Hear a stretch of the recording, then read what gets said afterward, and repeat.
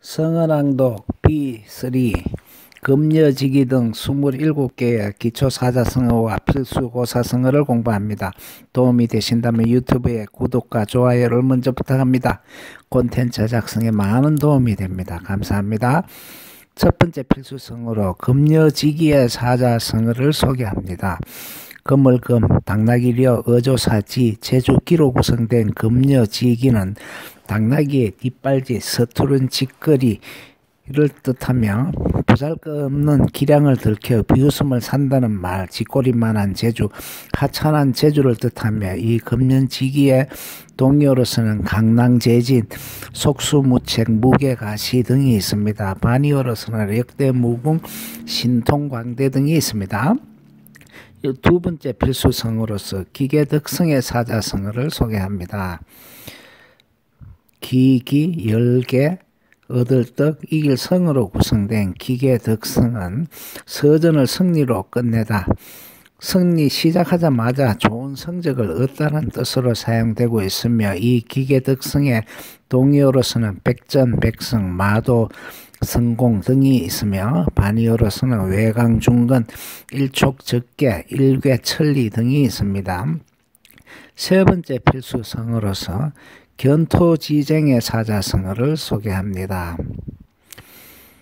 개견, 토끼토, 갈지, 다툴쟁으로 구성된 견토지쟁은 개와 토끼가 싸우다 지쳐 둘 다 쓰러져 숨져 있는 것을 지나가던 농부가 주어 이득을 보았다. 제3자가 이익을 얻게 된다는 것을 뜻하며 쓸데없는 다툼을 비유합니다. 이 견토지쟁의 동의어로서는 전부지공, 방휼지쟁, 어부, 지리 등이 있으며 반의어로서는 자력, 경생, 자식, 기력 등이 있습니다. 네 번째 필수성으로서 결초보온의 사자성어를 소개합니다. 매절결, 불초, 알릴보, 은혜, 은으로 구성된 결초보, 은은 불을 맺어 은혜를 보답한다. 죽어서까지라도 은혜를 잊지 않고 갚는다. 죽어 홀령이 되어도 결처 은혜를 잊지 않고 갚는다라는 뜻을 가지고 있으며 동의어로서는 의인, 지리, 방휼, 지쟁, 의인, 등리, 휼방, 상쟁 등이 있으며 반의어로서는 자력, 경생, 자식, 기력 등이 있습니다. 다섯 번째 필수성으로서 관계 해낭의 사자성어를 소개합니다. 관계할 강, 분계할 개, 풀해, 주머니, 낭으로 구성된 관계 해낭은 호쾌하게 주머니를 열다 아낌없이 돈을 기부하다라는 뜻으로 사용되고 있으며 이 관계 해낭의 동의어로서는 조인 위락, 해낭 상조 등이 있으며 반의어로서는 일모불발, 근근개교 등이 있습니다. 여섯 번째 필수성으로서 경국지색의 사자성어를 소개합니다. 기울경, 나라구, 갈지, 빛색으로 구성된 경국지색은 경성경국이라고도 하며 나라 안에 어떤가는 미인 혹은 나라를 뒤집어 엎을 만한 절세 미인을 지칭한다. 이 동의어로서는 경성경국, 경성지색, 절세미인, 치머나간, 국향, 화용, 월태, 설부화용, 단순호치, 명모호치 등이 있으며 반이어로서는 박색, 면목 가정 등이 있습니다. 일곱 번째 필수성으로서 추천앙중의 사자성어를 소개합니다. 송곳추, 거찰처, 주머니낭, 가운데 중으로 구성된 송곳 지추는 추처낭중은 송곳이 주머니에 들다 재능 있는 사람은 두각이 드러나게 마련이라는 뜻으로 사용되고 있으며 이 추처낭중의 동의어로서는 낭중지추, 추출낭중, 낭리성추 등이 있으며 불호 반이어로서는 불호복망, 하모기사 등이 있습니다. 여덟 번째 필수성으로서 개구 우후의 사자성어를 소개합니다. 닭개 입구, 소우, 디후로 구성된 개구 우후는 닭의 뿌리가 될지언정 새꼬리는 되지 말라는 뜻. 그 큰 집단의 말석보다는 작은 집단의 우두머리가 낫다는 뜻의 개구 우후를 기억하시기 바랍니다. 아홉 번째 필수성으로서 개군 일학의 사자성어를 소개합니다. 닭개, 무리군, 한일, 학, 학으로 구성된 개군 일학은 닭의 무리 속에 한 마리의 학, 여러 평범한 사람들 가운데 뛰어난 한 사람이 섞여 있다는 뜻을 사용되고 있으며 동요로서는 군계 일학, 학립계군, 계군고학, 낭중 지추 등이 있으며 반이어로서는 인중 지말 등이 있습니다. 열 번째 필수성으로서 흉상 필로의 사자성어를 소개합니다.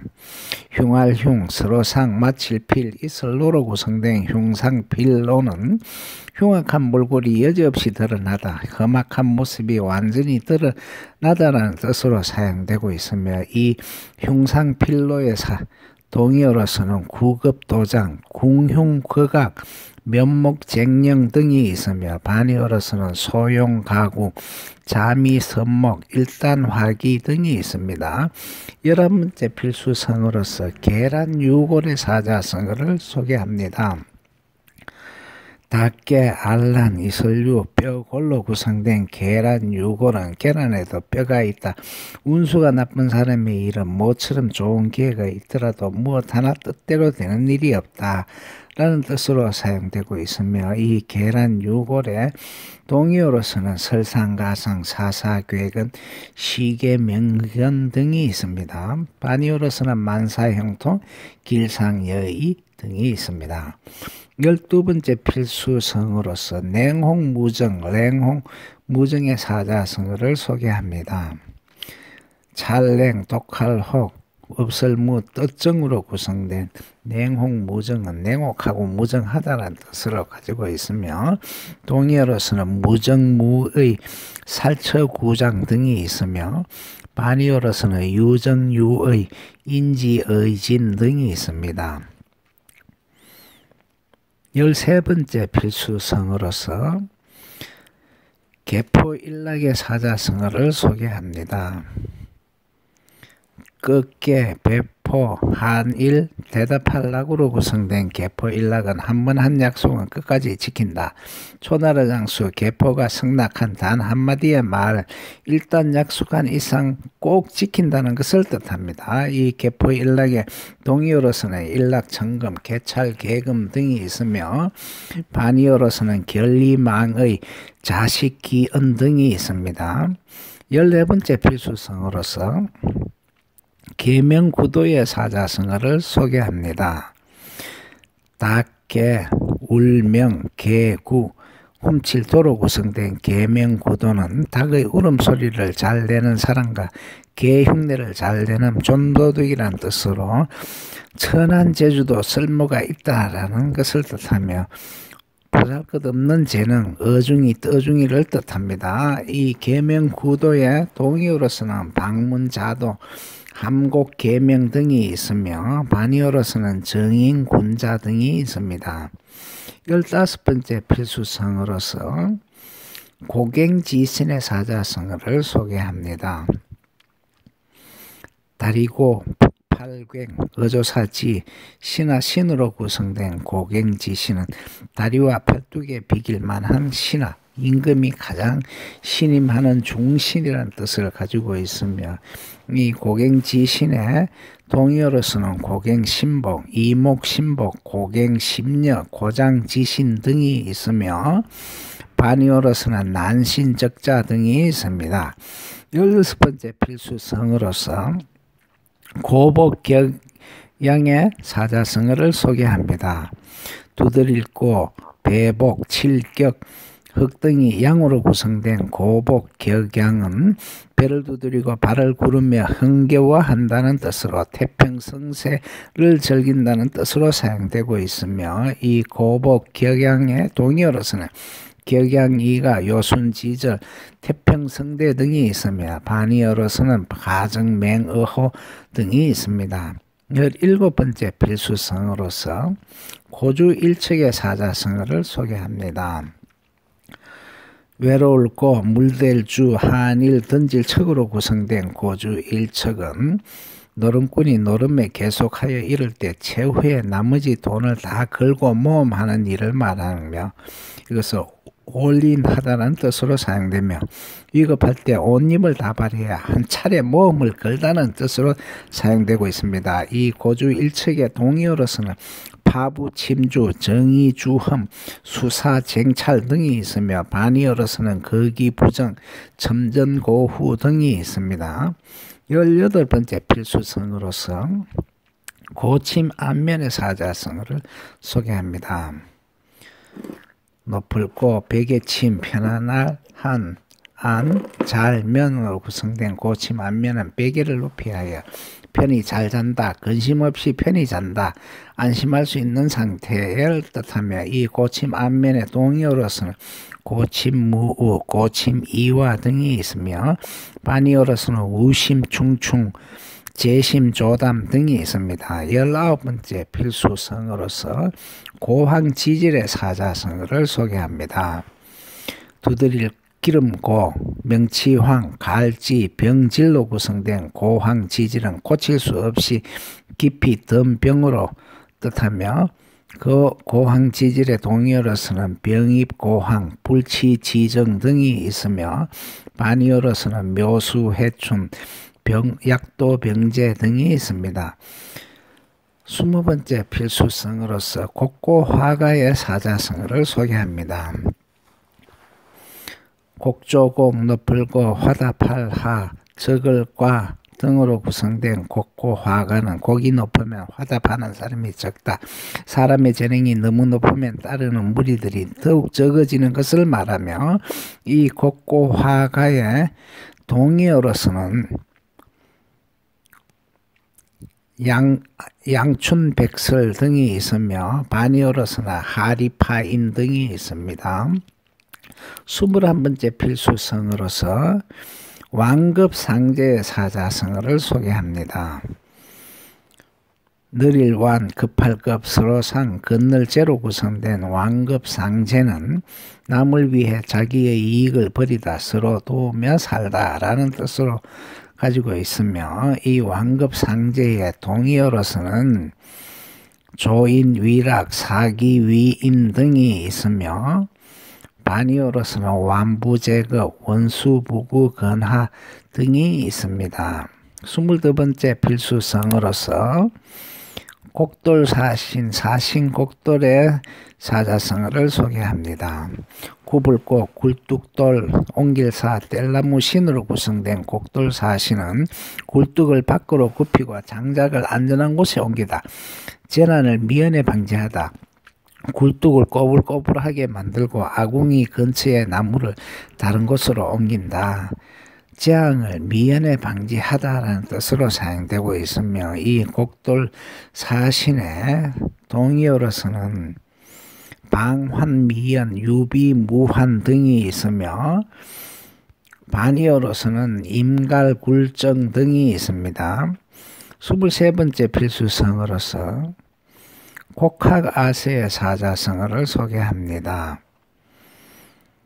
구불곡, 학문학, 아첨할 아, 인간 새로 구성된 곡학 아세는 학문을 굽히어 새 속에 아첨한다는 뜻으로 정도를 벗어난 학문으로 세상 사람들에게 아첨한다는 뜻을 가지고 있으며 이 곡학 아세의 동의어로서는 세태 염냠, 염량, 노암 비설 등이 있으며 반의어로서는 경강, 부굴, 심직, 국회 등이 있습니다.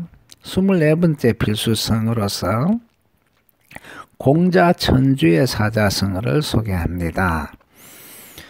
구멍공, 아들자, 뚫을 천, 구슬 주로 구성된 공자 천주는 공자가 구슬을 깬다는 말로 자기보다 못한 사람에게 모르는 것을 묻는 것을 부끄러운 일이 아님을 가르쳐주는 말로서 이 공자 천주의 동의어로서는 부긍, 부벌, 불치, 하문 등이 있으며 반의어로서는 자고자대, 자명, 부범 등이 있습니다. 25번째 필수성으로서 공중누각의 사자성어를 소개합니다. 빌공 가운데 중 다락루 다락집 가구로 구성된 공중 누각은 공중에 누각을 짓는 것처럼 근거나 토대가 없는 사물을 이르는 말로 내용이 없는 문장이나 쓸데없는 의론을 뜻하고 허무하게 사라지는 근거 없는 가공의 사물을 뜻합니다. 이 공중 누각의 동의어로서는 사상 누각, 신기루, 허무, 표묘, 해시, 신누 등이 있 으며 반이어로서는 각답실지 등이 있습니다. 26번째 필수성으로서 공휴일계의 사자성어를 소개합니다. 공공 이그러질 휴 한일 중농 개로 구성된 공휴 일개는 아홉 길 높이의 산을 쌓는데 한 삼태기에 흙이 모자라 쌓지 못하다. 성공을 눈앞에 두고 실패하다. 거의 다 된 일에 막판에 실수로 그르치다는 뜻을 사용되고 있으며 이 공휴 일개의 동의어로서는 공패, 수승, 전공, 진기 등이 있으며 반의어로서는 선시, 선종, 대, 공고성 등이 있습니다. 27번째 필수성으로서 과유불급의 사자성어를 소개합니다. 공공 이거리질 휴 한일 중농 괴로 구성된 과유불급은 정도를 지나치면 미치지 못하는 것과 같다는 뜻으로 사용되고 있으며 이 과유불급의 동의어로서는 공패, 수성, 전공, 진기 등이 있으며 반의어로서는 선시, 선종, 대공고성 등이 있습니다. 이로써 총 27개의 사자성어를 공부하였습니다. 고사와 출처 예문의 유튜브 재생 목록에 가나다 목차에서 해당 성어를 찾아보시면 됩니다. 수고하셨습니다. 도움이 되셨다면 유튜브에 구독과 좋아요를 부탁합니다. 콘텐츠 작성에 많은 도움이 됩니다. 감사합니다. 구독과 좋아요를 부탁합니다.